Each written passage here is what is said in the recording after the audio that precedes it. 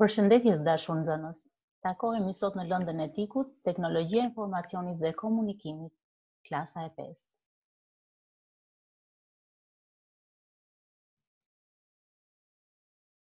Tema që do të trajtojmë sot janë shërbimet e internetit, rezultatet e të nxënit.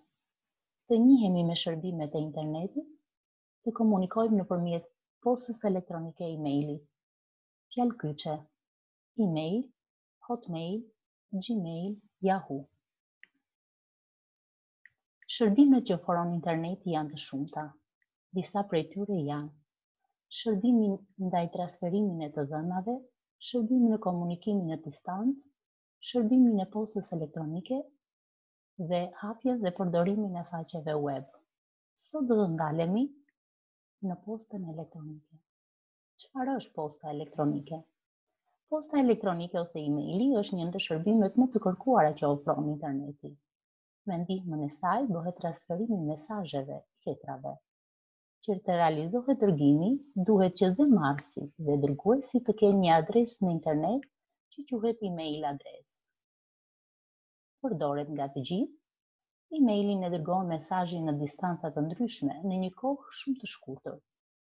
Gjatë këmbimit të mesazheve, nuk është e nevojshme që dërguesi dhe marrësi të jenë aktivë në atë moment. Komunikimi nëpërmjet postës elektronike, e-mailit. Disa websajte që mundësojnë komunikimin nëpërmjet postës elektronike janë Google, Hotmail, Gmail, Yahoo. Për të marrë apo për të dërguar një email, duhet të krijojmë një adresë emaili të llojit user and host. User, përdorues, emri me të cilin duam të identifikohemi. Host, adresa në internetin e vendit ku duhet të hapim një llogari. Disa adresa mund të që mund të hapim një llogari janë www.google.com, www.gmail.com, www.hotmail.com www.yahoo.com Transferimi i të dhënave Nëpërmjet internetit, ne mund të transferojmë të dhëna të ndryshme në një adresë të caktuar web. Faqet web që mundësojnë këtë lloj shërbimi janë Dropbox, OneDrive, Google Drive, WeTransfer e të tjera.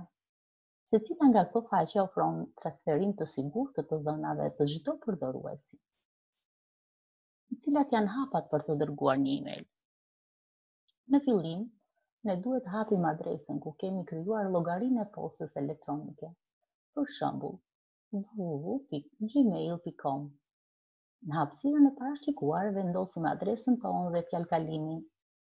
Pasi jemi futur në adresën tonë të emailit, mund të përdorim atë për t'i dërguar email dikujt duke klikuar në opsionin Compose.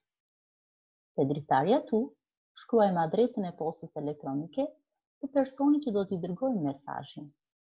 Në hapësirën poshtë, Subject, shkruajmë tekstin e mesazhit dhe në fund klikojmë ikonën Send. Provo veten. Cilat janë disa nga shërbimet që mundëson interneti? Dhe e dyta, cilat janë disa nga faqet web që bëjnë ngarkimin dhe më pas shkarkimin e tyre nga përdoruesi. Punë të mbarë. Ti je një ju.